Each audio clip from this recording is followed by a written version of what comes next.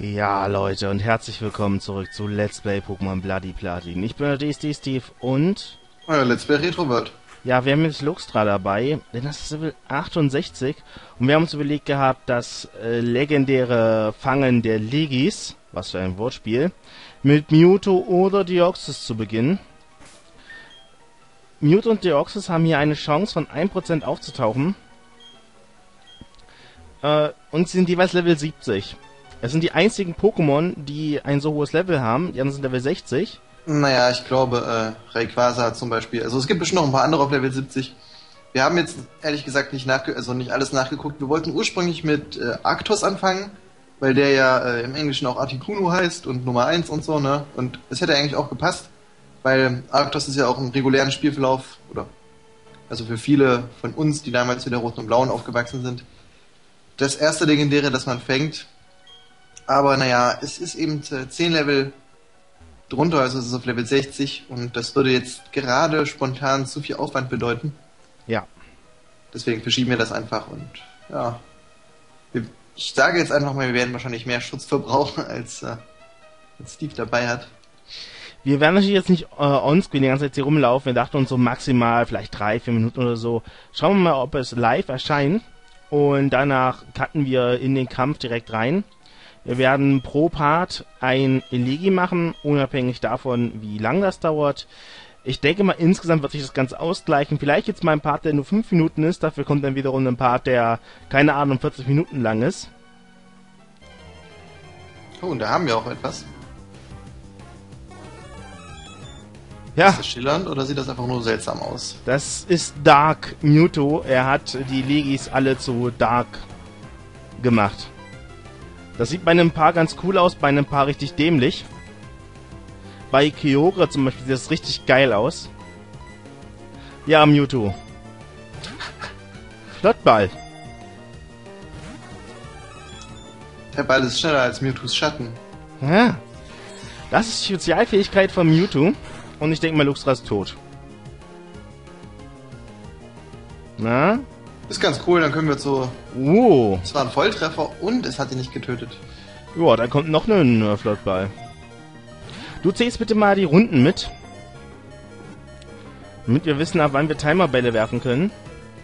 Wie wir das ab 30 Runden haben. Ja. Ja, Luxra, du hast einen tollen Job gemacht. Dein Sprite gefällt mir immer noch sehr. Ja, nächstes Pokémon einsetzen. Ähm, Pedramon, Pedramon. das Schlimme ist, ich glaube, eine Kreuzschere bringt Mewtwo um. Das bringt Mewtwo zweimal und macht doch einfach Trugschlag oder Zerschneider. Was? Schutztausch? Was ist das? Tauscht alle Veränderungen seiner Verteidigung und Spezialverteidigung mit dem Ziel. also der hat nichts. Ja, ja, Klingt jetzt auch nicht so prall, muss ich ganz offen sagen. klingt eigentlich ganz cool. Der Gegner hat halt zwei, dreimal irgendeinen Quatsch eingesetzt. Ja, also grundsätzlich kann das schon eigentlich mal eine mächtige Attacke sein. Ich muss ganz offen sagen, ich habe die vorher noch nie gesehen. Ist das so eine Legi-Only-Attacke? Das könnte durchaus sein. Schutzaustausch, ja, ich guck mal nach. Also. Kommt eigentlich schon ein bisschen so vor. Und jetzt Kraftaustausch. Also wahrscheinlich das gleiche nochmal mit den Offensiv. Genau, mit den Offensivwerten. Das heißt, da hat Psychoklinge. Jetzt haben wir viermal angegriffen, oder? Ich glaube, das gibt's nur hier am Emulator, äh, in diesem Hack. Das hat auf PokeWiki beides keine Hits. Okay. Das wäre aber auch cool, wenn er... Also na- Schutztausch. Ich glaube, ich, glaube, ich habe es einfach nur falsch geschrieben. Also mal eigene Attacken einbauen natürlich auch Ja, ja, ja, ja, nee, aber ich habe mich leider einfach nur verschrieben. Typ Okay. Psycho seit der vierten Generation und äh, in der vierten Generation können es lernen Pantimos, Mewtwo, Natu, Xatu, Xiana und Kirafan. Ja, und ich muss sagen, Mewtwo kam überraschend schnell mit. Tja, dann haben wir wohl direkt den ersten drei Minuten Part, hä? Mewtwo, Genmutant, Psycho, Größe 2 Meter, Gewicht 122 Kilo. Die Gene von Mew wurden neu angeordnet, wodurch dieses PK-Man entstand. Es hat ein wildes Herz. Es ist das zweitstärkste aller Pokémon insgesamt. Und die Ochs ist das stärkste, oder was? Genau. Ja, das war überraschend einfach. Wollen wir noch das zweite suchen, oder? Ja. Ja, ja. Jetzt brechen wir direkt mit dem, was wir uns eben vorgenommen haben, aber naja, also ich meine, komm schon Leute, das waren jetzt drei Minuten und äh, Äh, ja, ich war krass. So viel zum Thema, wir werden mehr Schutz brauchen. das Schlimme ist, nee, das ist ja das Schlimme, ne? Jetzt könnte es nämlich passieren, dass wir noch ein zweites Mewtwo vor dem Deoxys treffen. Ja, das ist natürlich auch richtig. Ich hoffe einfach, es passiert nicht. Aber krass. So kann's laufen. Äh, ja, was soll man zu Mewtwo sagen? Mewtwo war natürlich damals in der ersten Generation einfach nur broken. Ich meine, man hat es auch schon auf Level 70 einfach mal bekommen, ne? Das war damals das höchste Pokémon, was man fangen konnte vom Level. Jupp. Und das konnte man tatsächlich relativ schnell auf Level 100 trainieren. Ich weiß, damit hat man einfach immer Top 4 Runs gemacht. Gab ja auch sonst nichts, das man noch hätte machen können. Ja. Und ich meine, man hat einfach mit Mewtwo die komplette Top 4 einfach immer umgeklatscht, komplett. Das war... Das Nervigste dabei war eher, dass man nicht genug AP hatte. Und ich glaube, standardmäßig konnte es immer noch Sternschauer, Genau. Genesung, Psychokinese und ich glaube Amnesie, oder? Ich glaube auch genau die vier Sachen. Und Amnesie war total krank gewesen auf Mewtwo. Also wirklich richtig, richtig broken. Denn Amnesie hat ja da, dadurch, dass der Spezialwert ja damals noch ein Wert war, also Spezialangriff und Spezialverteidigung, hat Amnesie quasi beide Werte sozusagen um zwei gepusht und das war bei Mewtwo total albern. Naja, das war auf jedem Pokémon albern, aber bei dem ganz besonders, weil er sowieso schon der Stärkste war und dadurch ja nur noch stärker geworden ist und ja. noch, äh, also Mewtwo war ja der, schwieriger anzugreifen. Mewtwo weiß ich noch, hat man eigentlich immer in der Regel gesagt, wir spielen ohne Mewtwo. Mew hatte ja niemand, außer der gecheatet hat, weil damals wussten wir tatsächlich nicht, wie das wirklich ging. Tatsächlich jeder irgendwie Mew hatte, hat es via Cheat-Modul gehabt. Naja, entweder via Cheat-Modul oder es gab auch tatsächlich, äh, ich glaube 99 oder 2000 gab es auch so eine Tour, wo man dann hingehen konnte und dann konnte man sich das auf seinen Gameboy ziehen lassen. Okay, das hat bei uns niemand gemacht, muss ich dazu sagen. Also das Blöde war ja, die Touren, die waren auch irgendwie immer nur einen Tag und die waren ja auch nicht überall, ne? Also stellenweise, ich weiß nicht, wo du da hättest hinfahren müssen. Das ist ja das Schwierige, ne? Also ich weiß auf jeden Fall, dass bei uns war eine Tour und genau an dem Tag, als die Tour war, waren wir auf Klassenfahrt. Ich habe auf jeden Fall mega gekotzt, ja. ja, ich kann mir das gut vorstellen, aber, Aber naja gut, später hat man sich dann einfach das Cheat-Modul geholt und ja. Ich denke mal, wir cutten dann jetzt einfach mal. genau. Eine Woche und fünf Mewtwo's später Deoxys. Und noch eine kleine Erkältung für mich, also eventuell hört man's oder ich werde zwischendurch mal husten, aber Äh, ich glaube nicht, dass ein Donnerzahn den umbringt, oder? nicht von einem, der ein niedrigeres Level hat.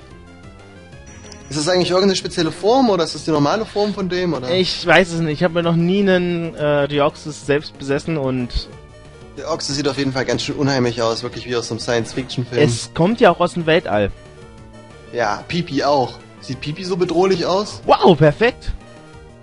Tja, und du wolltest irgendwas von, was war das, Donnerwelle? Ja, hast du deine Donnerwelle? Sogar integriert. Und wir haben vergessen, Flottbälle zu werfen.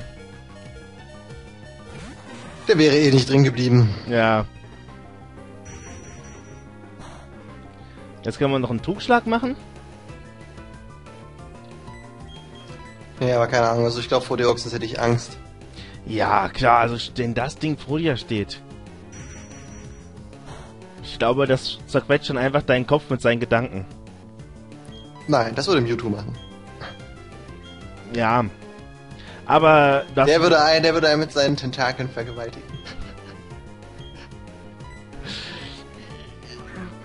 wenn man in einer Hentai-Welt leben würde, auf jeden Fall, ja. Hey, es gibt eine ganze Menge perverse Aliens in Pokémon. Zum Beispiel Pipi. Ähm, aber Deoxys ist das ein... Nee. Ist es Deoxys? Oder was Arceus? Nee, nicht Deoxys ist stärker als Mewtwo. Arceus ist es. Wer? Arceus. Oder Arceus. Ja, ich glaube eher Arceus. Ich glaube, die Aussprache ist offiziell nicht geklärt. Das heißt, die ist offiziell nicht geklärt. Also ich meine, die Frage ist halt, wie der im Japanischen heißt. Und das ist halt sein Name. Ansonsten gibt's halt eine deutsche Version und eine englische. Und die englische wäre dann wahrscheinlich sowas wie Arcus oder sowas oder Arceus. Naja, das Problem ist, beides würde gehen. Rein von der, von der Schreibweise her.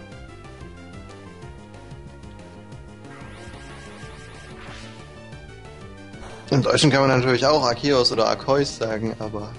Ich finde, dass Arceus besser klingt. Also, ich meine, im Lateinischen spricht man ja Vokale getrennt voneinander aus. Und ich finde, das passt auf so ein mächtiges Wesen besser. Da könnt ihr eure Meinung ja gerne mal in die Kommentare schreiben. Und die Oxys, du hast drin zu bleiben. Das wird wahrscheinlich wieder ein ganz langer Part. Wir sind ja immer noch im YouTube-Part. Ja, ich weiß. Was Psycho... Psyban? Die Attacke hat keine Wirkung. Ach nee, schade, wir sind auch... Nein! Ah, Das ist ja geil, er hat seine Paralyse einfach an uns weitergegeben. Aber na gut, das ändert jetzt nicht so viel. Einfach Bälle schmeißen und... Das ist aber eine interessante Attacke so von sich aus gesehen. Vielleicht macht er sie ja nochmal und dann ist er wieder paralysiert? Das wäre nicht schlecht. Ich meine, irgendwann muss er es machen. Weil er für nichts anderes mehr AP hat und ja. Was ich mich auch immer frage ist, wenn man das Pokémon gefangen hat, warum geht man eigentlich nicht hin und sammelt all die fe fehlgeschlagenen Pokebälle ein? Naja, du musst es dir so vorstellen, dass das äh, Pokémon den Ball irgendwie wegschlägt oder der Ball wird unbrauchbar. Ich meine, es ist zur Hälfte drin und dann befreit es sich wieder draus und der Ball gegen irgendeine Felswand oder so oder. Aber wäre es dann vielleicht nicht mehr sinnvoll, anstatt Bälle mit höheren Fangraten zu entwickeln, Bälle, die man wieder benutzen kann? Aber wieso? So müssen die Leute doch viel mehr Pokebälle kaufen. Das ist ja gerade der Sinn und Zweck, ne? Dass die Leute immer schön viele neue Pokebälle kaufen. Ein Pokéball darf keine besonders hohe Halbwertszeit, äh, Halbwertszeit haben. meine, wäre ja auch interessant, ob es eigentlich mehrere Unternehmen gibt, die Pokebälle herstellen, oder gibt es nur ein Unternehmen? Naja, ich glaube, in den Spielen gibt es ja immer nur ein Unternehmen, oder? Die Silphco zum Beispiel. Äh, wobei, nee, es gibt mehrere, oder? Ich meine, Oh komm, ich hätte doch echt drinnen bleiben können. so gesehen gibt es halt in jeder Region ein anderes Unternehmen, wahrscheinlich. Aber vielleicht gehören die auch einfach alle nur zu einem großen. Ja, stimmt, es gibt. Dann gibt es zum Beispiel ja einmal diesen Kurt, der Bälle herstellt, also die ja selbst herstellt. Genau, stimmt, der kann ja irgendwie aus Aprikokos irgendwie Bälle anfertigen. Ja. Äh, dann gibt's noch. Was gibt's denn noch? Ja, genau, die Silphco stellt Bälle her. Dann wiederum in der dritten Gen das Unternehmen stellt auch Bälle her. Also es sind definitiv schon verschiedene Unternehmen, die die Bälle herstellen. Dennoch machen die eine Preisabsprache. Das wäre in Deutschland verboten. Denn die Bälle kosten überall gleich viel. Naja, da hast du natürlich recht, Steve. Aha. So decken wir das hier auf. Finan Kapitalverbrechen in Pokémon. Naja, noch 15 Runden oder so und du kannst dann mal langsam Bälle schmeißen. Timerbälle. Ja, und Psyban funktioniert leider nicht, wenn er keinen Status hat. Das ist natürlich echt blöd. Das wäre aber echt ziemlich cool. Oh nein, ich habe mich selbst paralysiert. Ich hoffe, dass der insgesamt genug AP hat. Ich weiß nicht, wie Psyban hat. Hm, naja, ich meine, das ist zwar jetzt keine besonders starke Attacke, aber es ist schon eine sehr spezielle. Ich glaube maximal 20. Aber es ist egal. Ja, Deoxys. Du bist unser. Deoxys. DNS. Größe 1,7 Meter, Gewicht 60,8. Ein außerirdischer Virus kam mit einem Meteor auf die Erde. Sein DNA mutierte. So entstand Deoxys. Hm, ich dachte eigentlich ja, dass so diese ganze Zombie-Seuche entstanden wäre. Hm, anderes Pokémon-Spiel. Ja, aber die Tentakelwesen sind so auf die Welt gekommen. Und vielleicht sind ja Tentoxer seine Untergebenen. Oh, Tentoxa ist das höher entwickelte Deoxys, das hat ja noch mehr Tentakel. So, wir wollen Deoxys keinen Spitznamen geben. Dann hoffe ich, hat euch das äh, Doppellegi einfangen gefallen. Ich war DSD Steve und Euer Let's Play Retro World.